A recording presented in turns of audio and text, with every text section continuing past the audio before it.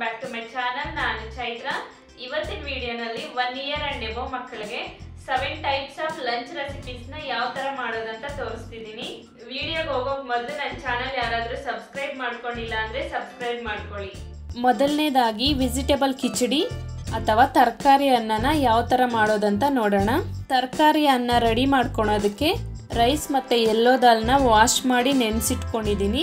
ಹಾಗೆ ಎಲ್ಲ ತರಕಾರಿನ ಕಟ್ ಮಾಡಿ ಇಟ್ಕೊಂಡಿದ್ದೀನಿ.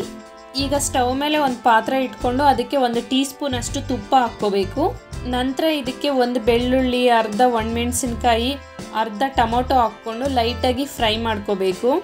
ಈಗ ಇದಕ್ಕೆ ಕಟ್ ಮಾಡಿ ಇಟ್ಕೊಂಡಿರೋ ಕ್ಯಾರೆಟ್, ಬೀನ್ಸ್, ಆಲೂಗಡ್ಡೆ, ಬಟಾಣಿ, ಹಾಗೆ ಸ್ವಲ್ಪ ಅರಿಶಿಣ ಹಾಕ್ಕೊಂಡು ಒಂದು ನಿಮಿಷದವರೆಗೂ ಫ್ರೈ ಮಾಡ್ಕೋಬೇಕು.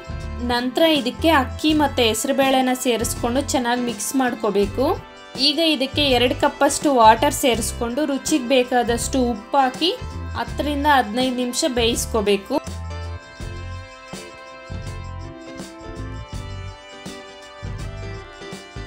ನೋಡಿ ಈಗ ಚೆನ್ನಾಗಿ ಬೆಂದಿದೆ.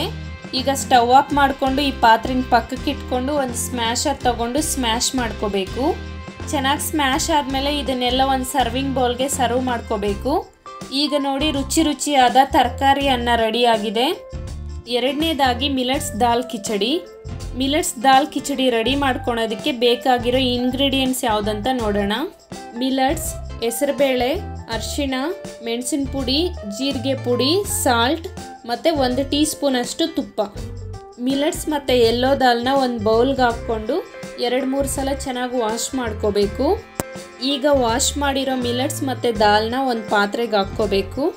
ಹಾಗೆ ಜೀರಿಗೆ ಪುಡಿ, ಮೆಣಸಿನ ಪುಡಿ, ಅರಿಶಿಣ, ರುಚಿಗೆ ಬೇಕಾದಷ್ಟು ಉಪ್ಪು ಹಾಕಿ ಇದನ್ನು ಬೇಯಿಸೋದಕ್ಕೆ ಬೇಕಾದಷ್ಟು ವಾಟರ್ ಸೇರಿಸ್ಕೊಂಡು ಹತ್ತರಿಂದ ಹದಿನೈದು ನಿಮಿಷ ಬೇಯಿಸ್ಕೋಬೇಕು. ನೋಡಿ ಈಗ ಚೆನ್ನಾಗಿ ಬೆಂದಿದೆ. ಈಗ ಸ್ಟವ್ ಆಫ್ ಮಾಡಿಕೊಂಡು ಈ ಪಾತ್ರೆನ ಪಕ್ಕಕ್ಕೆ ಇಟ್ಕೊಂಡು ಒಂದು ಸ್ಮ್ಯಾಶರ್ ತಗೊಂಡು ಸ್ಮ್ಯಾಶ್ ಮಾಡ್ಕೋಬೇಕು.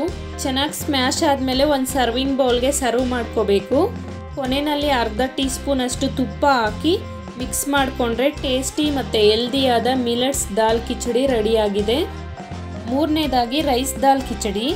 Rice dal khichdi ready ಮಾಡ್ಕೊಳೋದಕ್ಕೆ ಬೇಕಾಗಿರೋ ಇಂಗ್ರೀಡಿಯೆಂಟ್ಸ್ ಯಾವುದಂತ ನೋಡೋಣ. ಅಕ್ಕಿ, ಹೆಸರುಬೇಳೆ, ಕ್ಯಾರೆಟ್, ತುಪ್ಪ, ಮೆಣಸಿನ ಪುಡಿ, ಜೀರಿಗೆ ಪುಡಿ, ಅರಿಶಿಣ, ಹಾಗೆ ರುಚಿಗೆ ಬೇಕಾದಷ್ಟು ಉಪ್ಪು ತಗೋಬೇಕು. ಈಗ ಸ್ಟವ್ ಮೇಲೆ ಒಂದು ಪಾತ್ರೆ ಇಟ್ಕೊಂಡು ಅದಕ್ಕೆ ಒಂದು ಟೀ ಸ್ಪೂನಷ್ಟು ತುಪ್ಪ ಹಾಕ್ಕೋಬೇಕು. ನಂತರ ಇದಕ್ಕೆ ತುರಿದಿಟ್ಕೊಂಡಿರೋ ಒಂದು ಕಪ್ ಕ್ಯಾರೆಟ್ ಹಾಕಿ ಲೈಟಾಗಿ ಫ್ರೈ ಮಾಡ್ಕೋಬೇಕು. ನಂತರ ಇದಕ್ಕೆ ತೊಳೆದಿಟ್ಕೊಂಡಿರೋ ಅಕ್ಕಿ ಮತ್ತು ಹೆಸರುಬೇಳೆನ ಹಾಕ್ಕೋಬೇಕು.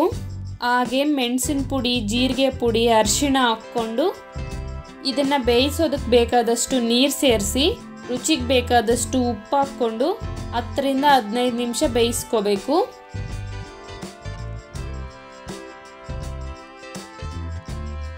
ಈಗ ನೋಡಿ ಚೆನ್ನಾಗಿ ಬೆಂದಿದೆ. ಈಗ ಒಂದು ಸ್ಮ್ಯಾಶರ್ ತಗೊಂಡು ಚೆನ್ನಾಗಿ ಸ್ಮ್ಯಾಶ್ ಮಾಡ್ಕೋಬೇಕು. ಚೆನ್ನಾಗಿ ಸ್ಮ್ಯಾಶ್ ಆದಮೇಲೆ ಒಂದು ಸರ್ವಿಂಗ್ ಬೌಲ್ಗೆ ಸರ್ವ್ ಮಾಡ್ಕೋಬೇಕು. ಈಗ ಮಕ್ಕಳಿಗೆ ರೈಸ್ ದಾಲ್ ಕಿಚಡಿ ರೆಡಿಯಾಗಿದೆ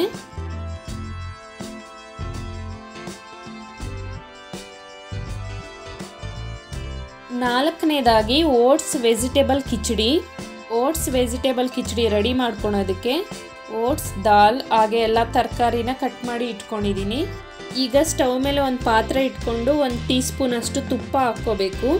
ಹಾಗೆ ಒಂದು ಬೆಳ್ಳುಳ್ಳಿ, ಅರ್ಧ ಒಣಮೆಣಸಿನ್ಕಾಯಿ, ಅರ್ಧ ಟೊಮೊಟೊ, ಸ್ವಲ್ಪ ಅರಿಶಿಣ ಹಾಕ್ಕೊಂಡು ಲೈಟಾಗಿ ಫ್ರೈ ಮಾಡ್ಕೋಬೇಕು. ನಂತರ ಇದಕ್ಕೆ ಕಟ್ ಮಾಡಿ ಇಟ್ಕೊಂಡಿರೋ ಕ್ಯಾರೆಟ್, ಆಲೂಗಡ್ಡೆ, ಬೀನ್ಸ್, ಬಟಾಣಿ ಹಾಕ್ಕೊಂಡು ಒಂದು ನಿಮಿಷದವರೆಗೂ ಫ್ರೈ ಮಾಡ್ಕೋಬೇಕು.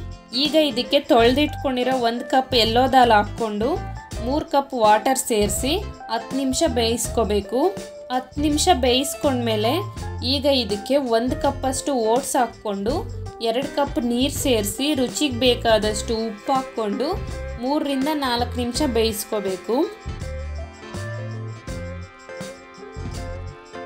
ನೋಡಿ ಈಗ ಚೆನ್ನಾಗಿ ಬೆಂದಿದೆ. ಈಗ ಸ್ಟವ್ ಆಫ್ ಮಾಡಿಕೊಂಡು ಈ ಪಾತ್ರೆನ ಪಕ್ಕಕ್ಕೆ ಇಟ್ಕೊಂಡು ಒಂದು ಸ್ಮ್ಯಾಶರ್ ತಗೊಂಡು ಚೆನ್ನಾಗಿ ಸ್ಮ್ಯಾಶ್ ಮಾಡ್ಕೋಬೇಕು.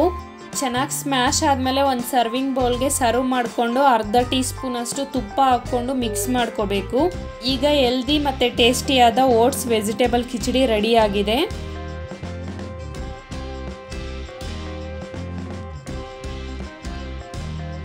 ಐದನೇದಾಗಿ ಕೆಂಪಕ್ಕಿ ಕಿಚಡಿ ಕೆಂಪಕ್ಕಿ ಕಿಚಡಿ ರೆಡಿ ಮಾಡೋದಕ್ಕೆ ಬೇಕಾದ ಇಂಗ್ರೀಡಿಯೆಂಟ್ಸ್ ಯಾವುದಂತ ನೋಡೋಣ. ಕೆಂಪಕ್ಕಿ, ಹೆಸರುಬೇಳೆ, ಜೀರಿಗೆ ಪುಡಿ, ಮೆಣಸಿನ ಪುಡಿ, ಅರಿಶಿಣ, ಉಪ್ಪು, ಹಾಗೆ ಒಂದು ಟೀ ಸ್ಪೂನ್ ತುಪ್ಪ. ಕೆಂಪಕ್ಕಿ ಮತ್ತು ಹೆಸರುಬೇಳೆನ ತೊಳೆದು ಅರ್ಧ ಗಂಟೆ ನೀರಲ್ಲಿ ನೆನೆಸಿಟ್ಕೋಬೇಕು. ಈಗ ಸ್ಟವ್ ಮೇಲೆ ಒಂದು ಪಾತ್ರೆ ಇಟ್ಕೊಂಡು ಒಂದು ಟೀ ಸ್ಪೂನ್ ಅಷ್ಟು ತುಪ್ಪ ಹಾಕ್ಕೋಬೇಕು. ನಂತರ ಇದಕ್ಕೆ ನೆನೆಸಿಟ್ಕೊಂಡಿರೋ ಕೆಂಪಕ್ಕಿ ಮತ್ತು ಹೆಸರುಬೇಳೆನ ಹಾಕ್ಕೋಬೇಕು. ಹಾಗೆ ಜೀರಿಗೆ ಪುಡಿ, ಮೆಣಸಿನ ಪುಡಿ, ಅರಿಶಿಣ ಹಾಕ್ಕೊಂಡು ಚೆನ್ನಾಗಿ ಮಿಕ್ಸ್ ಮಾಡ್ಕೋಬೇಕು. ಈಗ ಇದಕ್ಕೆ ವಾಟರ್ ಸೇರಿಸ್ಕೋಬೇಕು. ಒಂದು ಕಪ್ ರೈಸ್ಗೆ ನಾಲ್ಕು ಕಪ್ಪಷ್ಟು ವಾಟರ್ ಹಾಕ್ಕೋಬೇಕು. ವಾಟರ್ ಹಾಕ್ಕೊಂಡ್ಮೇಲೆ ಇದಕ್ಕೆ ರುಚಿಗೆ ಬೇಕಾದಷ್ಟು ಉಪ್ಪು ಹಾಕ್ಕೊಂಡು ಇದನ್ನು ಇಪ್ಪತ್ತು ನಿಮಿಷದವರೆಗೂ ಬೇಯಿಸ್ಕೋಬೇಕು. ನೋಡಿ ಈಗ ಚೆನ್ನಾಗಿ ಬೆಂದಿದೆ. ಈಗ ಒಂದು ಸ್ಮ್ಯಾಶರ್ ತಗೊಂಡು ಸ್ಮ್ಯಾಶ್ ಮಾಡ್ಕೋಬೇಕು. ಚೆನ್ನಾಗಿ ಸ್ಮ್ಯಾಶ್ ಆದಮೇಲೆ ಒಂದು ಸರ್ವಿಂಗ್ ಬೌಲ್ಗೆ ಸರ್ವ್ ಮಾಡ್ಕೋಬೇಕು. ಈಗ ಟೇಸ್ಟಿ ಮತ್ತು ಹೆಲ್ದಿಯಾದ ಕೆಂಪಕ್ಕಿ ಕಿಚಡಿ ರೆಡಿಯಾಗಿದೆ ಕೆಂಪಕ್ಕಿ ಕಿಚಡಿ ತುಂಬಾ ಟೇಸ್ಟಿಯಾಗಿರುತ್ತೆ ನೀವು ಒಂದ್ಸಲ ಟ್ರೈ ಮಾಡಿ.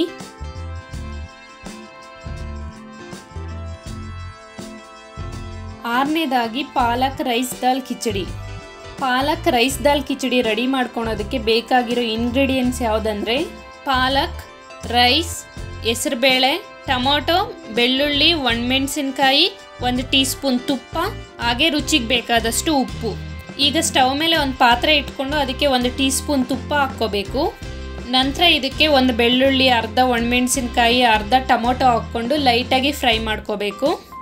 ಈಗ ಇದಕ್ಕೆ ಒಂದು ಕಪ್ ಪಾಲಕ್ ಹಾಕ್ಕೊಂಡು ಹಾಗೆ ಸ್ವಲ್ಪ ಅರಿಶಿಣ ಸೇರಿಸಿ ಒಂದು ನಿಮಿಷದವರೆಗೂ ಬೇಯಿಸ್ಕೋಬೇಕು. ನಂತರ ಇದಕ್ಕೆ ತೊಳೆದಿಟ್ಕೊಂಡಿರೋ ರೈಸ್ ಮತ್ತು ದಾಲ್ನ ಹಾಕ್ಕೊಂಡು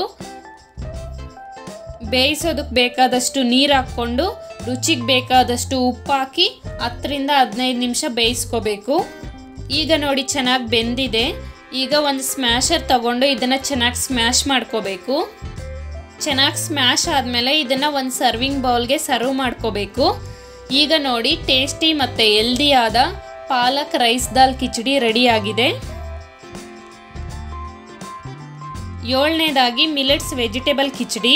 Millets vegetable khichdi ready ಮಾಡೋದಕ್ಕೆ ಬೇಕಾಗಿರೋ ಇಂಗ್ರೀಡಿಯೆಂಟ್ಸ್ ಯಾವುದಂದ್ರೆ ಮಿಲೆಟ್ಸ್ ಮತ್ತು ಎಲ್ಲೋ ದಾಲ್ನ ವಾಶ್ ಮಾಡಿ ನೀರಲ್ಲಿ ನೆನೆಸಿಟ್ಕೊಂಡಿದ್ದೀನಿ ಹಾಗೆ ಟೊಮೊಟೊ, ಕ್ಯಾರೆಟ್, ಬೀನ್ಸ್, ಆಲೂಗಡ್ಡೆನ ಕಟ್ ಮಾಡಿ ಇಟ್ಕೋಬೇಕು. ಈಗ ಸ್ಟವ್ ಮೇಲೆ ಒಂದು ಪಾತ್ರೆ ಇಟ್ಕೊಂಡು ಒಂದು ಟೀ ಸ್ಪೂನ್ ಅಷ್ಟು ತುಪ್ಪ ಹಾಕೋಬೇಕು ತುಪ್ಪ ಹಾಕಿದ ನಂತರ ಇದಕ್ಕೆ ಒಂದು ಬೆಳ್ಳುಳ್ಳಿ, ಅರ್ಧ ಒಣಮೆಣಸಿನ್ಕಾಯಿ, ಅರ್ಧ ಟೊಮೊಟೊ, ಹಾಗೆ ಸ್ವಲ್ಪ ಅರಿಶಿಣ ಹಾಕ್ಕೊಂಡು ಲೈಟಾಗಿ ಫ್ರೈ ಮಾಡ್ಕೋಬೇಕು. ನಂತರ ಇದಕ್ಕೆ ಕಟ್ ಮಾಡಿ ಇಟ್ಕೊಂಡಿರೋ ಕ್ಯಾರೆಟ್, ಬೀನ್ಸ್, ಆಲೂಗಡ್ಡೆ, ಹಾಗೆ ಬಟಾಣಿ ಹಾಕ್ಕೊಂಡು ಒಂದು ನಿಮಿಷದವರೆಗೂ ಬೇಯಿಸ್ಕೋಬೇಕು. ಈಗ ಇದಕ್ಕೆ ತೊಳೆದು ನೆನೆಸಿಟ್ಕೊಂಡಿರೋ ಮಿಲ್ಲಟ್ಸ್ ಮತ್ತು ಹೆಸರುಬೇಳೆನ ಹಾಕ್ಕೊಂಡು, ಹಾಗೆ ಎರಡು ಕಪ್ ನೀರು ಹಾಕ್ಕೊಂಡು, ರುಚಿಗೆ ಬೇಕಾದಷ್ಟು ಉಪ್ಪು ಹಾಕ್ಕೊಂಡು ಹತ್ತರಿಂದ ಹದಿನೈದು ನಿಮಿಷ ಬೇಯಿಸ್ಕೋಬೇಕು.